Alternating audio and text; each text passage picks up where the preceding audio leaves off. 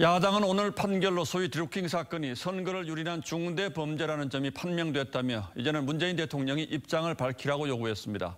반면 민주당은 판결에 유감을 보이면서 대법원의 최종 판단을 지켜보자고 했습니다. 보도에 차정성 기자입니다. 선거에 맞춰 댓글 조작을 시작하였습니다. 정치적 여론을 왜곡한 것입니다.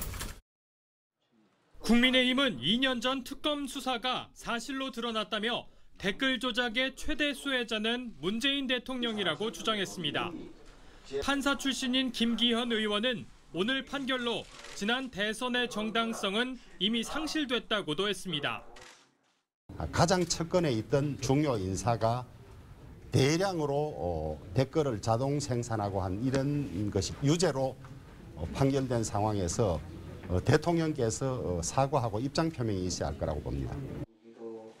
주 원내대표는 실형을 받았는데 보석이 취소되지 않은 것도 이례적이라고 지적했습니다. 국민의당은 김 지사의 사퇴와 안철수 대표에 대한 사과를 요구했습니다.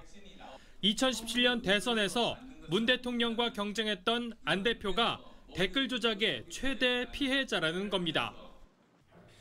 민주당은 김 지사의 결백과 무죄를 확신한다며 유죄 판결 부분을 도저히 납득할 수 없다는 입장을 내놨습니다.